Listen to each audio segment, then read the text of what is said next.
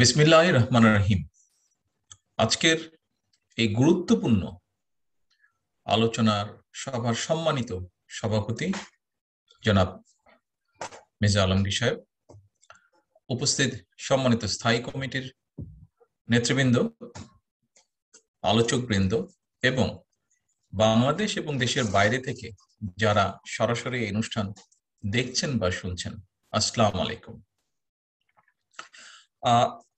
প্রিয় উপস্থিতিবৃন্দ, এতক্ষণ ধরে সবার তথ্যবহুল আলোচনায় একটা বিষয় খুব পরিষ্কারভাবে, সুন্দরভাবে ফুটে উঠেছে। কি সেটা? যে স্বাধীনতা উত্তর বাংলাদেশে নৈরাজ্যকর যে পরিস্থিতি, পনেরোই আগস্টের পূর্বাপর ঘটনাবলী, আওয়ামী লীগ এবং বিভিন্ন ব্যক্তি বা গোষ্ঠীর সেই সময়কার ভূমিকার কথা অনেকের বক্তব্যে খুব সুন্দরভাবে ফুটে এসছে। আলোচকদের, যারা এখানে আলোচনা করেছেন, আলোচকদের অনেকেই সেই সময় সাক্ষী ছিলেন। তবে আমি বা আমরা বা আমাদের মতন যারা সেই সময়টাতে কিশোর বা তরুণ বয়সী ছিলাম আমরা এবং যারা পঁচাত্তর পরবর্তী প্রজন্ম, তাদের জন্য পঁচাত্তর সালের পনেরোই আগস্ট কিংবা পূর্বাপুর ঘটনাবলী জানতে হলে অবশ্যই তথ্য, কথ্য, বই পুস্তক কিংবা ইতিহাসই একমাত্র ভরসা। কিন্তু খুব দুঃখের সাথে বলতে হয় এখন কিন্তু চলছে ইতিহাস বিকৃতির মহা উৎসব যা এরই মধ্যে বিভিন্ন বক্তা তাদের বক্তব্যের মাধ্যমেও প্রমাণ করেছে। আদালতের ঘাড়ে বন্দুক রেখে র্যাব, পুলিশের হুমকি, ধমকি, মামলা, হামলা, গুম, খুন, অপহরণ কিংবা সীমান্তের ওপারে ফেলে রেখে আসার ভয় দেখিয়েও বর্তমানে কিন্তু পনেরোই আগস্ট এবং এর পূর্বপর পরিস্থিতি নিয়ে সবচেয়ে বেশি তথ্য বিকৃতি চলছে। তবে রাষ্ট্রযন্ত্রের অপব্যবহার করে এখন যে যেটাই বলুক না কেন, পনেরোই আগস্ট পূর্ববর্তী সরকারের মন্ত্রী এবং নিষিদ্ধ আওয়ামী লীগের নেতাকর্মীদের দিয়ে পনেরোই আগস্ট পরবর্তী সরকার গঠন করায় একটা জিনিস প্রমাণিত যে ক্ষমতার ভাগবটও নিয়ে নিষিদ্ধ আওয়ামী লীগ এবং তাদের দোষরদের মধ্যেকার রাজনৈতিক দ্বন্দ্ব বিরোধে নির্মম একটা বহিঃপ্রকাশ ছিল পনেরোই আগস্ট উনিশশো পঁচাত্তর সাল। এই অপ্রিয় সত্যটা স্বীকার করতে চাক বা না চাক আওয়ামী লীগ, এটাই বাস্তবতা, এটাই ইতিহাস। এখন আওয়ামী লীগ এই ইতিহাস বিকৃতিতে মেতে উঠেছে তাদের অভ্যাস মতন। পনেরোই আগস্ট নিয়ে নতুন গল্প তার এক তৈরি করেছেন, গল্প কাহিনী প্রচার করেছেন, যা এরই মধ্যে আমাদের সম্মানিত আলোচক বৃন্দ অনেকেই বিভিন্ন কোটেশনের মাধ্যমে তুলে ধরেছেন। অথচ যারা পনেরোই আগস্টের প্রেক্ষাপট তৈরি করেছিল, যাদের কারণে কিংবা যাদের জন্য পনেরোই আগস্ট সংগঠিত হয়েছিল, যারা প্রত্যক্ষ কিংবা পরোক্ষভাবে সহায়তা করেছিল, যারা পনেরোই আগস্টের বেনিফিশিয়ারি খেয়াল করে দেখবেন প্রিয় উপস্থিতিবৃন্দ দেশ বিদেশে সকলে যারা আজকে এখানে সংযুক্ত আছেন, সকলে খেয়াল করে দেখবেন, তারা কিন্তু এখন বলতে গেলে প্রায় সবাই মহাজোটের নামে একজোট হয়েছে। পঁচাত্তরের সাতই নভেম্বরের পরাজিত অপশক্তি মহাজোটের নামে একজোট হয়ে এখন তাদের সকল অপকর্মের দায় বিএনপির উপরে চাপাতে চাইছে। নিজেদের কলঙ্কিত ইতিহাস ঢাকতে এখন এই অপশক্তি, নির্লজ্জ মিথ্যাচার, অপপ্রচারের টার্গেট বানিয়েছে স্বাধীনতার ঘোষক শহীদ রাষ্ট্রপতি জিয়াউর রহমানকে। প্রিয় উপস্থিতিবৃন্দ, প্রিয় নেতৃবৃন্দ, আপনারা হয়তো অনেকেই এর মধ্যে দেখেছেন খুব সম্ভব এখানে আমাদের স্থায়ী কমিটির সিনিয়র সদস্য ডক্টর কন্দা মোশারফ হোসেন সাহেব একটু আগে উল্লেখ করেছেন। আমিও একইভাবে বিষয়টা উল্লেখ করতে চাই। আপনারা নিশ্চয়ই দেখেছেন, পত্রপত্রিকায় দেখেছেন, আপনাদের মনে আছে, আমিও দেখেছি যে চলতি মাসের প্রথম দিন আগস্ট মাস এই প্রথম দিন, এই অবৈধ নিশিরাত সরকারের অবৈধ নিশিরাতের প্রধানমন্ত্রী একটা মন্তব্য করেছে। মন্তব্যটা আমি কোট আনকোট করছি। এই রং হেরের অবৈধ প্রধানমন্ত্রী, নিশিরাতের প্রধানমন্ত্রী বলেছে যে, পনেরোই আগস্টের আগস্ট হত্যাকাণ্ডের বিচার হয়েছে, তবে নেপথ্যে কারা এখনও আবিষ্কার হয়নি। একদিন আবিষ্কার হবে। উপস্থিতিবৃন্দ, এর মানে কি? এর মানে দাঁড়াল, বছরের পর বছর ধরে দেশে হিংসা, বিদ্বেষ, বিভেদ, বিরোধ ছড়িয়ে মিথ্যাচার চালিয়ে দেশের অগণিত অসংখ্য মানুষকে গুম, খুন, অপহরণ করেও তারা জনগণকে কিন্তু বিভ্রান্ত করতে পারেনি। বাংলাদেশের জনগণ তাদের এত কথাতেও কিন্তু বিভ্রান্ত হয়নি। এবার তাই পনেরোই আগস্ট নিয়ে তাদের রং হেডেড ব্যক্তির মাথায় আবিষ্কারের নেশা চেপে বসেছে। অথচ পনেরোই আগস্ট নিয়ে নতুন করে আবিষ্কারের কিন্তু কিছু নেই, যা এরই মধ্যে বিভিন্ন বক্তা তাদের বক্তব্যে তুলে ধরেছেন খুব সুন্দরভাবে। বরং পনেরোই আগস্টের পূর্বাপর ঘটনাবলী নিয়ে আওয়ামী লীগ নেতা কিংবা আওয়ামী লীগ ঘটনার লেখক বুদ্ধিজীবীদের লেখা অসংখ্য বইপত্রই অনেক সুনির্দিষ্ট, বইপত্রের ভিতরেই অনেক সুনির্দিষ্ট প্রমাণ রয়েছে। শুধু সৎ উদ্দেশ্য নিয়ে এসব জানার বা বোঝার চেষ্টা করতে হবে, তাহলেই কিন্তু আসল ঘটনা বেরিয়ে আসবে। পনেরোই আগস্টের প্রকৃত বিচার করতে হলে, আসল রহস্য জানতে হলে যাদেরকে টার্গেট করা দরকার ছিল, ক্ষমতার লোভে একটু আগেই বলেছি আমি, একটু আগে অন্য বক্তারাও এখানে উল্লেখ করেছেন যে ক্ষমতার লোভে তাদেরকে মহাজেটের সঙ্গী কিংবা বিনা ভোটের এমপি মন্ত্রী বানিয়ে প্রকৃত ঘটনাকে আড়াল করার চেষ্টা করা হচ্ছে। ঐতিহাসিক বাস্তবতা হচ্ছে পনেরোই আগস্ট কিংবা তার পূর্বে পূর্বেকার স্বৈরাচারী কর্মকাণ্ড সম্পর্কে তৎকালীন আওয়ামী লীগের প্রায় সব নেতাই কিন্তু জানতেন। এমনকি সৈয়দ নজরুল ইসলাম কিংবা এইচ এম কামরুজ্জামানের মতন সিনিয়র প্রবীণ আওয়ামী লীগের নেতারাও তৎকালীন পরিস্থিতির কঠিন পরিণতি সম্পর্কে আগাম তথ্য পেয়েছিলেন। পনেরোই আগস্ট নিয়ে আওয়ামী লীগ নেতা অধ্যাপক আবু সাইদ তার লেখা একটি বই আছে, বইটার নাম হচ্ছে ফ্যাক্টস অ্যান্ড ডকুমেন্টস এই বইটার দুইশো উননব্বই এবং নব্বই পৃষ্ঠা এবং একই সাথে আওয়ামী লীগের সাবেক প্রেসিডেন্ট সদস্য ছিলেন একজন মরহুম আব্দুল আজিজ। তারও একটা লেখা বই আছে। সেই বইটার নাম হচ্ছে রাজনীতির সেকাল এবং একাল। আমার ধারণা নিশ্চয়ই অনেকেই আজকাল আজকে যারা উপস্থিত আছেন, অনেকেই পড়েছেন বইটা। এর ভিতরেও সুনির্দিষ্ট কতগুলো প্রমাণ রয়ে গেছে।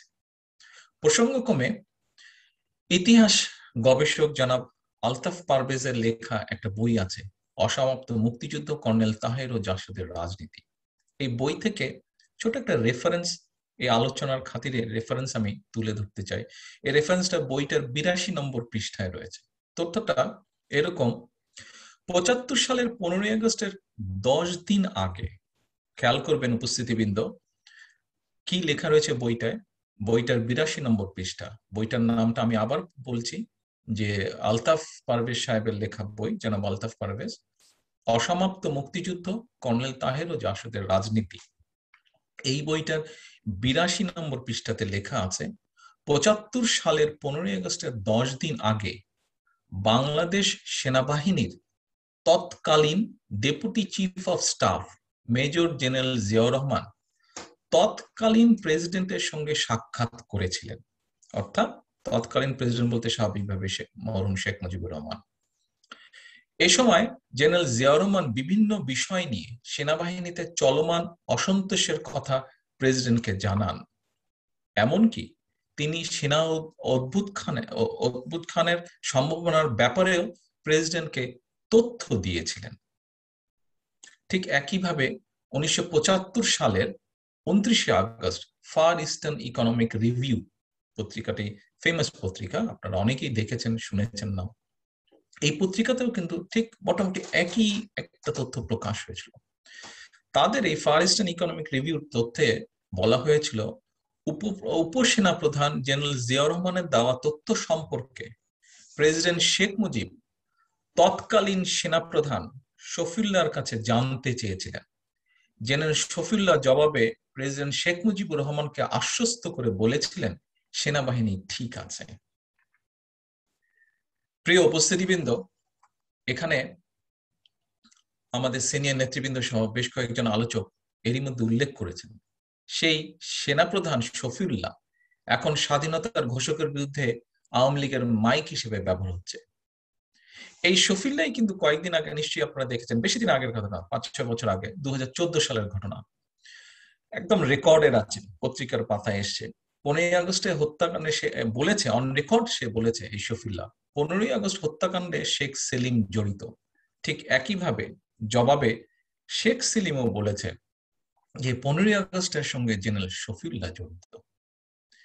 এখানে উপস্থিত আপনারা যারা সিনিয়র সিটিজেন আছেন বাংলাদেশের, আপনাদের অনেকেরই হয়তো জানা আছে যে পনেরোই আগস্টের সময়কার সেনাপ্রধান শফিউল্লাহ, জেনারেল শফিউল্লাহ চব্বিশে আগস্ট কিন্তু বঙ্গভবনে গিয়েছিল, তৎকালীন প্রেসিডেন্টের সঙ্গে দেখা করতে। বঙ্গভবনে পৌঁছানোর পরে নবনিযুক্ত ডিফেন্স সেক্রেটারি, সেই সময়কার নবনিযুক্ত ডিফেন্স সেক্রেটারি জেনারেল ওসমানী পনেরোই আগস্টের ঘটনা প্রসঙ্গে জেনারেল শফিউল্লাহকে বলেছিল, তুমি দেশের জন্য অনেক কিছু করেছ, এখন তোমার সার্ভিস বিদেশে দরকার। এবং ওই দিনই, ওই সাক্ষাতেই কিন্তু জেনারেল শফিউল্লাহ চাকরি রাষ্ট্রদূত হিসেবে কনফার্ম হয়ে যায়। এরপর থেকে রাষ্ট্রদূত হিসাবে পৃথিবীর বিভিন্ন দেশে উনিশশো নব্বই সাল পর্যন্ত জেনারেল শফিউল্লাহ চাকরি করেছে, সরকারি চাকরি।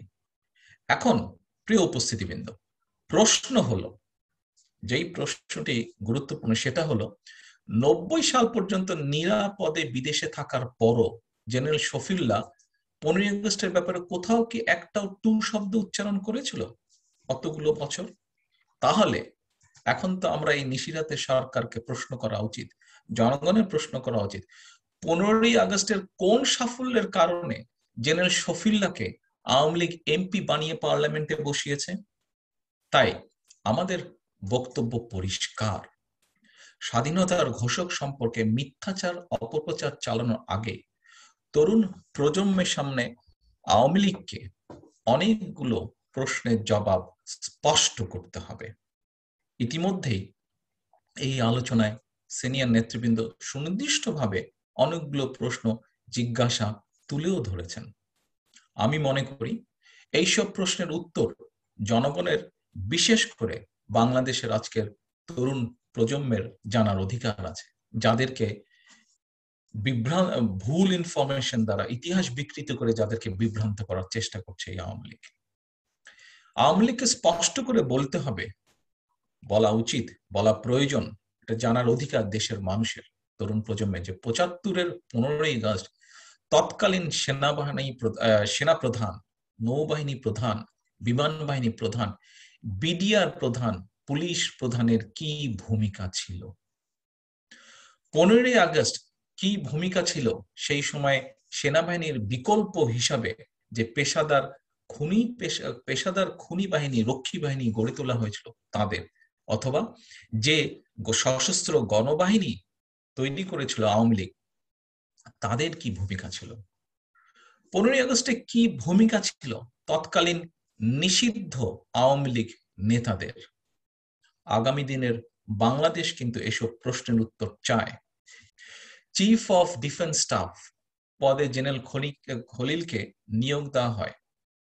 কবে? উনিশশো পঁচাত্তর সালের তেসরা নভেম্বর জেল হত্যাকাণ্ডের সময়ও জেনারেল খলিল এই পদে নিযুক্ত ছিলেন। তাহলে তখন কি ভূমিকা ছিল জেনারেল খলিলের? আজকে তো আমাদের জিজ্ঞাসা, জনগণের জিজ্ঞাসা। পনেরোই আগস্ট এবং জেল হত্যাকাণ্ডে জেনারেল খলিলের এমন কি সাফল্য ছিল?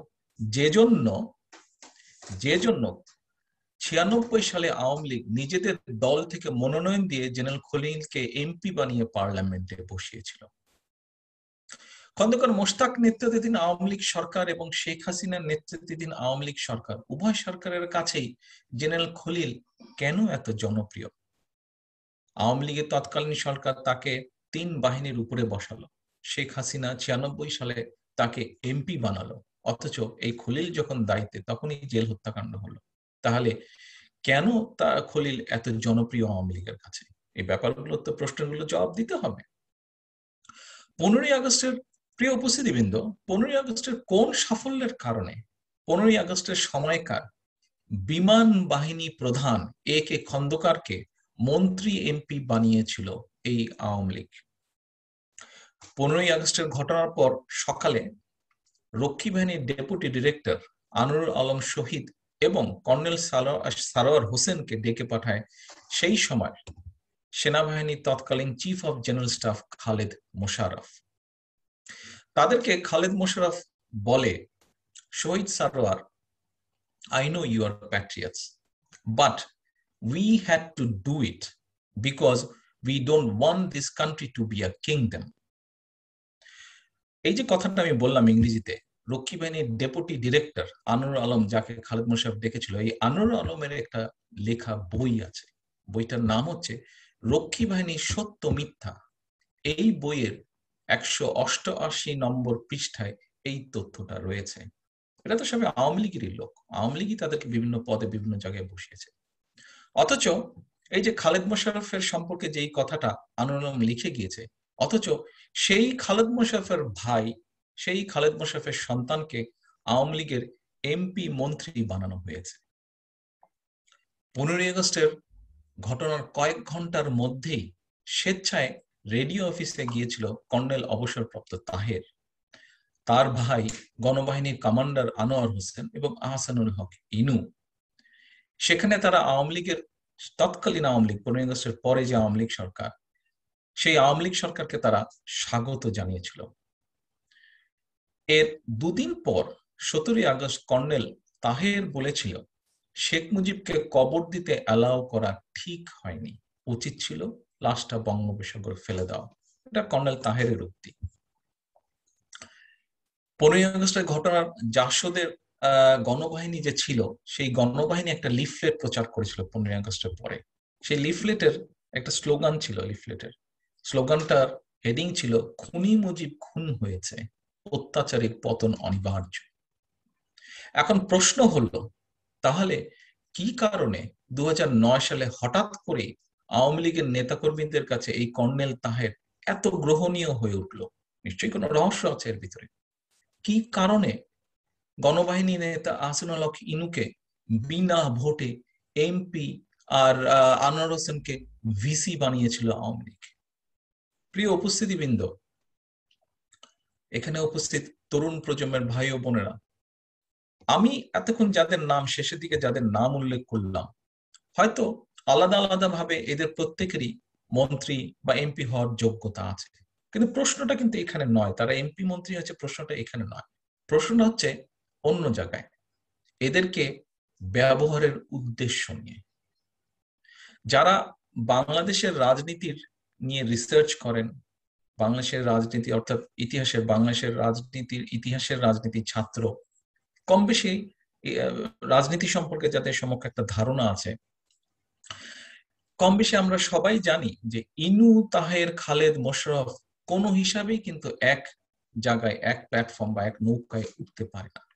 তবুও এদের সবাইকে কিন্তু একই নৌকায় উঠানো হয়েছে। ওঠানোর একমাত্র উদ্দেশ্য যা এরই ভিতরে আমাদের সিনিয়র নেতৃবৃন্দ খুব সুন্দরভাবে বলেছেন, কথাটা তুলে ধরেছেন। একমাত্র উদ্দেশ্য স্বাধীনতার ঘোষকের বিরুদ্ধে মিথ্যাচার ছড়ানো। কথায় বলে, সব শিয়ালের এক রা উপস্থিতিবৃন্দ, বাস্তবতা হচ্ছে বাংলাদেশের স্বাধীনতার ঘোষকের ক্যারিসমেটিক নেতৃত্ব। দেশনেত্রী বেগম খালেদা জিয়ার সম্মোহনী ব্যক্তিত্ব আর বিএনপির জনপ্রিয়তার কাছে আওয়ামী লীগ অসম্ভব রকম অসহায়, অসম্ভব রকম ভাবে অসহায়। স্বাধীনতার ঘোষকের শুদ্ধ ও স্বচ্ছ রাজনীতির আয়নায় জনগণের সামনে ভেসে ওঠে আওয়ামী লীগের কালিমালিপ্ত রাজনীতির কদর্য রূপ। তাই আওয়ামী লীগ নিজেদের কলুষিত রাজনীতি কদর্য যে চেহারা তাদের যে নোংরা রাজনীতি, এটাকে আড়াল করতে ব্যর্থ হয়ে এখন স্বাধীনতার ঘোষকের ইমেজের নষ্টের চক্রান্তে লিপ্ত হয়েছে। ক্ষমতার লোভে পনেরোই আগস্টের ঘটনায় প্রত্যক্ষ কিংবা পরোক্ষভাবে যারা জড়িত, তাদের সবার সঙ্গে হাত মিলিয়েছে এই নিশিরাতের অবৈধ, এই নিশিরাতের অবৈধ, সরকারের নিশিরাতের অবৈধ রঙের প্রধানমন্ত্রী। প্রিয় উপস্থিতিবৃন্দ প্রিয় তরুণ প্রজন্মের ভাই বোনেরা, মিথ্যাচার, অপপ্রচার, গুম গুম, খুন চালিয়ে হয়তো ক্ষমতা কয়েক মাস বা কয়েক বছর দীর্ঘায়িত করা যায়। কিন্তু সেটি কি রাজনীতির সফলতা? অবশ্যই সেটি একটি রাজনীতির একটি আদর্শ, রাজনৈতিক আদর্শের সফলতা অবশ্যই সেটি নয়। আমরা যদি মনে করে দেখি, হিটলারও কিন্তু ইতিহাসের যে সেই হিটলার, হিটলারও প্রায় এক যুগ ক্ষমতায় ছিল, নির্মম নিষ্ঠুরতা চালিয়ে এক যুগ ক্ষমতায় ছিল। কিন্তু বর্তমানে কি? বর্তমানে কিন্তু ইতিহাসে হিটলার একটা ঘৃণিত নাম। উপস্থিতি বৃন্দ, প্রিয় উপস্থিতি বৃন্দ সম্মানিত নেতৃবৃন্দ, আজকে আমাদের এই আলোচনায় সবাই বক্তব্য রেখেছেন এবং স্বাভাবিকভাবে আজকের ব্যাপারটা এত গুরুত্বপূর্ণ যে স্বাভাবিকভাবে প্রত্যেকের আলোচনায় বক্তব্য একটু লম্বা হয়েছে। অনেকেরই হয়তো ধৈর্যচ্যুতি ঘটেছে। আমি আরও একটু কথা বলতে চাই। আপনাদের অনুরোধ করব আমাকে সামান্য একটু সময় দিবেন। সেটা হচ্ছে যে আরও কিছু কথা বলে আমি শেষ করতে চাই। এই যে, মহাজোটের নামে একজোট হওয়া এবং পঁচাত্তরের সাতই নভেম্বরের সাতই নভেম্বরের পরাজিত এই যে অপশক্তি তৎপরা সম্পর্কে আমাদের সবাইকে কিন্তু সতর্ক থাকতে হবে। এ ব্যাপারে আমি আপনাদেরকে আগেও আহ্বান করেছিলাম, আপনাদেরকে আমি আগেও অনুরোধ করেছিলাম যে, এই যে পঁচাত্তরের পরাজিত অপশক্তি, সাতই নভেম্বরের পরাজয়, এদের সম্পর্কে সতর্ক থাকার জন্য। এরা সেনাবাহিনীতে বিরোধ তৈরি করেছে, সেনাবাহিনীতে বিরোধ তৈরি করার চেষ্টা করে। বিরোধ তৈরি করে, সেনাবাহিনীকে দুর্বল করে রাখতে চায়। একই সাথে এরা জাতীয়তাবাদী শক্তিকেও দুর্বল করে রাখতে চায় এবং সেই ষড়যন্ত্রের অংশ হিসাবে এখন তারা পনেরোই আগস্ট নিয়ে কমিশন কমিশন তৈরির হাত ডাক শুরু করেছে। প্রিয় উপস্থিতিবৃন্দ, আমি মনে করি কমিশন একটা নয়, কমিশন অনেকগুলো কারণে আরও কমিশন করা প্রয়োজন এবং ইনশাল্লাহ আগামীতে বিএনপি যখন সরকার গঠন করবে, আমরা এই সরকারের পক্ষ থেকে নিরপেক্ষ কমিশন গঠন করব কতগুলো কারণে, কতগুলো ফাইন্ডিংস এর জন্য। আসুন, খুব সংক্ষেপে যদি দেখি, কেন আরও করা প্রয়োজন, কি কি কারণে করা প্রয়োজন? কমিশন করা প্রয়োজন, স্বাধীনতা উত্তর বাংলাদেশে বিরোধী দল ও মতের চল্লিশ হাজার মানুষকে কারা কীভাবে হত্যা করেছিল? কীভাবে, কি ছিল রক্ষী বাহিনীর ভূমিকা? রক্ষী বাহিনীর খুনের বিচার বন্ধ করতে কেন ইন্ডিমিনিটি জারি করা হলো? প্রিয় উপস্থিতিবৃন্দ, কমিশন গঠন করা প্রয়োজন পঁচাত্তর সালের নভেম্বরের প্রথম সপ্তাহে সেনাবাহিনীতে কারা অস্থিরতার সৃষ্টি করল? ক্যান্টনমেন্টের ভিতরে সেনা কর্মকর্তাদেরকে কারা কেন হত্যা করেছিল? প্রিয় উপস্থিতিবৃন্দ, প্রিয় সম্মানিত নেতৃবৃন্দ, পাশাপাশি দেশে আরও একটি সংঘবদ্ধ চক্রকে কমিশন গঠন করে চিহ্নিত করার সময় এসেছে। সংঘবদ্ধ এই চক্রের সদস্যরা মুক্তিযুদ্ধের সময় বয়স, শক্তি, সামর্থ্য থাকা সত্ত্বেও তারা মুক্তিযুদ্ধে যায়নি। অথচ আমরা এখন কি দেখছি? আমরা দেখছি যে এখন মুক্তিযুদ্ধের মন গড়া গল্প তারা তৈরি করছে বিভিন্ন ভাবে সারা দেশে বিএনপির সর্বস্তরের নেতা, কর্মী সমর্থক বৃন্দ জনগণ সামগ্রিকভাবে সমগ্র জনগণ বর্তমানে মাফিয়া মুক্ত বাংলাদেশ চায়। পরিবর্তন চায়। ইতিমধ্যেই প্রমাণিত হয়েছে এই পরিবর্তনের এই বিষয়টি। এবং আজকে এখানে সিনিয়র নেতৃবৃন্দ আছেন। বিএনপি সিনিয়র, জাতীয়তাবাদের শক্তি সিনিয়র নেতৃবৃন্দ আছেন। এই পরিবর্তনের দায়িত্ব নেতৃবৃন্দ আপনাদেরকে নিতে হবে। পরিবর্তনের নেতৃত্ব আপনাদেরকে দিতে হবে। পরিবর্তনের নেতৃত্ব বিএনপিকেই দিতে হবে। এই বাংলাদেশের মানুষ আশা করে, এটাই বাংলাদেশের মানুষ চায়। আজকে আমাদের সকলের যে বক্তব্য, এই বক্তব্য উপস্থাপনের মাধ্যমে আমি বিশ্বাস করি যে যে মিথ্যাচার, যে ইতিহাস বিকৃতি চলছে এই নিষেধের সরকারের দ্বারা, আমাদের এই বক্তব্যগুলোর মাধ্যমে অনেক কিছু পরিষ্কার হয়ে যাবে। যারা এইখানে অনুষ্ঠানে যোগ দিয়েছেন বিভিন্নভাবে আপনাদের মাধ্যমে এবং পরবর্তীতে যারা এই অনুষ্ঠানগুলো বিভিন্ন রেকর্ডে থাকবে, দেখবেন, এর মাধ্যমে বহু কিছু পরিষ্কার হয়ে যাবে যে এদের কি কি মিথ্যাচার চলছে, এরা কি বিকৃত করছে। আপনাদের সকলকে ধন্যবাদ জানিয়ে আমার বক্তব্য শেষ করছি। পরিশেষে আমি আবারও একটি কথা বলব, আবারও একটি আহ্বান জানাব, আবারও একটি অনুরোধ করব। পরিবর্তন এর সময় এসেছে। বাংলাদেশের মানুষ মাফিয়া মুক্ত বাংলাদেশ চায়। এই পরিবর্তনের নেতৃত্ব বিএনপিকে দিতে হবে, এই পরিবর্তনের নেতৃত্ব দিতে হবে বিএনপির আল্লাহ হাফেজ, বাংলাদেশ জিন্দাবাদ, বাংলাদেশ জাতীয়তাবাদী দল জিন্দাবাদ। আসসালাম আলাইকুম।